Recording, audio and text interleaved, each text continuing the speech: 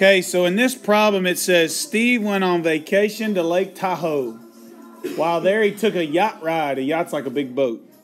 While standing on the yacht, he spit up into the air and watched the spit fly up into the air and back down to the ground. Really, it shouldn't say down to the ground, it should say down to the water. The spit's height in feet y is dependent on time on time in seconds after being spit x and can be modeled in the function. Now, with that information, they want you to answer the four questions below. Let's look at the four questions they're asking. How many seconds after taking off will the spit hit the water? So, what we're saying, guys, is we're saying we've got a guy in a boat, okay? We've got a guy in a boat right here, in a yacht, and he spits up into the air, and the spit comes back down to the water. Right? That's what's happening. Okay? Now, the questions they're asking are how far until the spit hits the what? The water. Okay? So that's the x intercept, isn't it?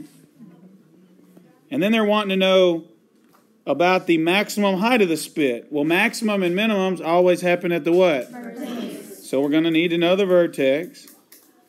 And then they say, how high was the spit when it started its flight? Well, starting points in equations are your y-intercept. And so we need to calculate our y-intercept, our x-intercept, and our vertex. It's that simple. Okay? So let's go back to the equation. Let's look at our equation. Y'all see it? Here's our equation. Now, it's very easy since the equation is in standard form. Say standard form. Standard. Form. Standard form. Okay, because it's in standard form, you know that the C value is always your y-intercept when the equation's in standard form. So there's my y-intercept, 17.5, right there. Now, let's, the next thing let's do is let's calculate the vertex. Okay, so you can see the equation, and you know your vertex is always going to be an ordered pair with an x and a y. Okay, now the x value of the vertex is always negative b over 2 times a, right? And so in this case, b is 4.5. Can y'all see it right here? There's your b. And so I have negative 4.5 all over 2 times a, which is negative 1. And so I have negative 4.5 over negative 2, which equals positive 2.25. Now that gives us the x value of the vertex, but it did not provide us with the what? Say y value. So in order for me to find the y value, I've got to take my x value and plug it in for x everywhere I see an x in the equation to get my y output. So I've got y equals negative, and then 2.25 all squared plus 4.5 times 2.25 plus 17.5. And so what we need to do is we need to calculate 2.25 squared and then put the negative in front plus all this multiplied plus 17.5. Okay, so when you evaluate all this right here, you should get y equals 22.5625. Okay, so that's my y value. So in the y value right here, I'm going to write 22.5625. And so now look at my vertex. Isn't she pretty? Okay, but we need to know what each part of the vertex means, don't we? Okay, so I'm going to go over here and I'm going to mark my vertex. What was it again? It was 2.25 and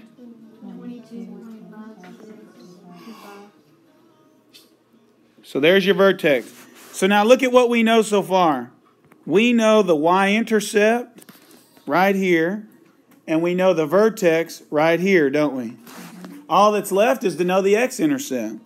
Well, in order for us to know the x-intercept, we plug a zero in for what? No, if you want the x-intercept, you plug a 0 in for what? y. So I'm going to take my equation, negative x squared plus 4.5x plus 17.5, and I'm going to set it equal to 0 because you can see right here it was equal to y, and I put a 0 in for the y. So now how do I solve a quadratic equation like that? that all that is is a quadratic equation. What is it? Complete the square. We could complete the square. So y'all said complete the square. So what's the first thing I would do to complete the square? You would divide everything by negative 1 because the number in front of the x squared must be positive 1. Now when I divide everything by negative 1, I have x squared minus what? 4.5x minus 17.5 equals what? Doesn't equal negative 0. There's no such thing as negative 0. Now what do I do to com now what do I do to complete the square, people? Good. Add 17.5 to both sides. And so I have x squared minus 4.5x, leave a space, equals 17.5, leave another space, right? And so now I need to solve this, don't I? What goes in the blank?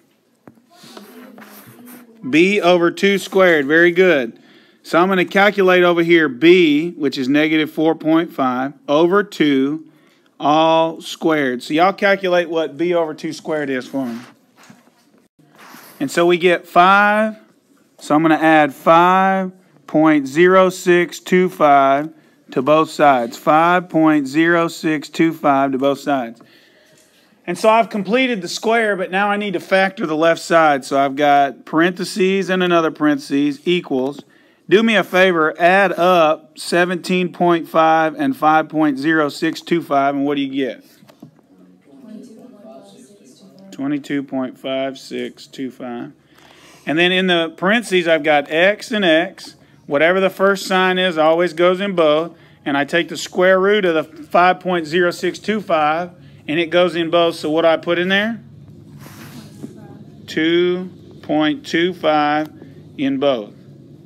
Now, I've got x minus 2.25 times x minus 2.25. That's the same thing as x minus 2.25 all what? Squared equals 22.5625. And what do I do now to solve for x? Square root both sides like this. And so I have x minus 2.25 equals what? 4.75. And I also have x minus 2.25 equals negative 4.75. Good. And then I'll add 2.25 to both sides here. And so I have x equals, it looks like 7. And right here I'll add 2.25 to both sides. And it looks like x equals negative 2.5. Now, look at your two x-intercepts, 7 and negative 2.5. I want to go back to the graph that we've been using, and I'm going to mark those on the graph. Okay?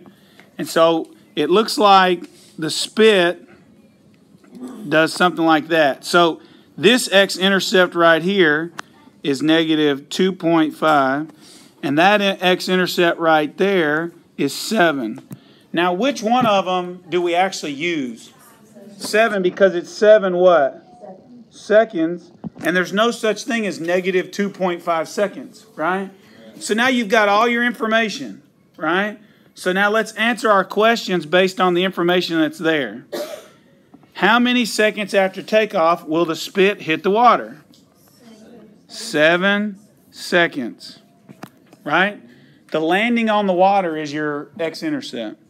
How many seconds after being spit will the spit reach its maximum height? Yeah, let's go look at our vertex. So in our vertex, does the 2.25 mean how many seconds, or does the 22.5625 mean the seconds? 2.25. Yeah, look at our graph. what we're saying is when x is 2.25, which is about right here, the maximum occurs up here, right? And so 2.25 is how many seconds after he spit that it reached the max.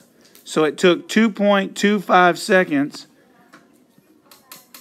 after he spit that it reached its maximum height. Well, what is the maximum height of the spit? How high up in the air did it get? Yeah, the y value of the vertex, 22 point what? And that's going to be feet, right? That's not feet. And then the last question says approximately how high up was the spit when it began flying? 17.5 feet. Now, explain to me how the spit could be so high when it started. He's on the boat. yeah, he's standing on a boat, and then he's probably like six feet tall. So the boat, the boat might be 11 feet off the off the water. It's a yacht. It's a big boat, and then he's standing six feet tall, so he's about 17 feet high when he spits the spit, right? Now that's some major flying spit right there, isn't it? Okay. Look at what we're saying. We're saying that if we did a stopwatch, it took seven seconds before the spit came back down to the water. We're saying at 2.25 seconds it hit its max, and we're saying it went 22 feet off the ground. Okay, and then it started at 17.5 feet, right? So if we look at our picture, we're saying this. We're saying here we are at 17.5 feet high, right? And we spit all the way up here to 22, right? And it hits that after 2.25 seconds. And then it rolls all the way back down, and boom, after seven seconds, it hits back to the floor. Right?